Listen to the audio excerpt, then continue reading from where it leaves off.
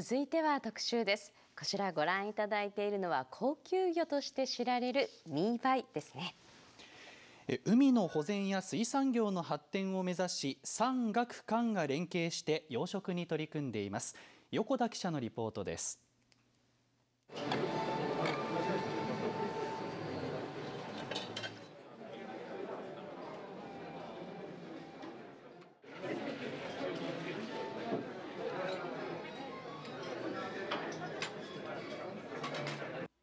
去年那覇市のホテルで開かれた新作メニューの試食会。使用された食材は沖縄近海でもよく取れ県民には馴染み深い魚ミーバイヤイトハタです。いろんな方と出会ったことによってプロジェクトがあの私が考えている以上に早く進んでいるというふうに思っております。壇上で挨拶に立ったのは琉球大学で生物学を専門とする竹村明弘教授。実はこのミーバイ漁業者ではなく大学が養殖したものでした。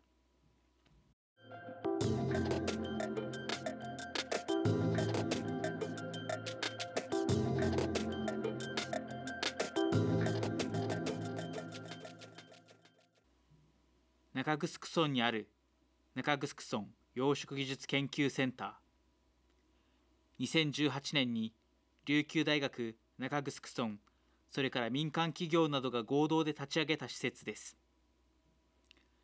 琉球大学の竹村教授はこの施設で研究統括者として携わっていてここで養殖されているのが流大ミーバイです。県内では主に養殖棚を使って栽培するもずくやいけすの中で育てる車エビそして一部の地域ではミーバイなど沖合や港での養殖が一般的ですが琉球大学が携わるこの施設は陸上養殖となっています。システム的にはあの水が循環しているわけですけれども海で行っているろ過の状態海の水をきれいにする状態を全部陸上で行っているということになります。農林水産省の調査によりますと海上での養殖は近年気温の上昇による魚の大量死や台風などにある施設の崩壊さらに魚の糞の堆積による水質の汚染など全国でさまざまな問題が浮上しています。琉球大学などが取り組むこの施設は生けすの水を2つのろ過装置で循環させ魚に悪影響となるアンモニウム体窒素や糞などの固形物をろ過して生育しやすい環境を整えています。現在はまださまざまな実験を兼ねているため1日に2回ほど海水を入れていけすの水を入れ替えていますが将来的には水の入れ替えを必要としない完全な陸上養殖を目指します。実現すれば海の水質汚染を防ぐだけではなく場所を選ばずに養殖が可能となり水産業の発展につながると期待されています。環境に負荷が少ないようなシステムを構築することによって産物として出てくるのが流大2倍というふうに思っています。市場では高値で取引される2倍県漁連によりますとビンチョウマグロが1キロあたり500円から600円ほどで取引されるのに対しミーバイは800円から1600円ほどで取引されています。養殖したミーバイを安定的に供給することができれば新たなビジネスチャンスとなる可能性もあり施設では養殖技術を向上させるため研究員や学生らがさまざまな工夫を凝らして実験に取り組んでいます、県内の、水族館だとか漁協とかから出るその、廃棄物ですねいわゆる。とあとはその、まあ、ビールの酵母だったりとかそういう植物性のタンパク質を混ぜて作った餌というものはですねその、まあ、市販の飼料よりからかなりそのコストが安い。でこれを使った結果、まあ、市販の餌と同じぐらいのレベルで成長が実現できたので。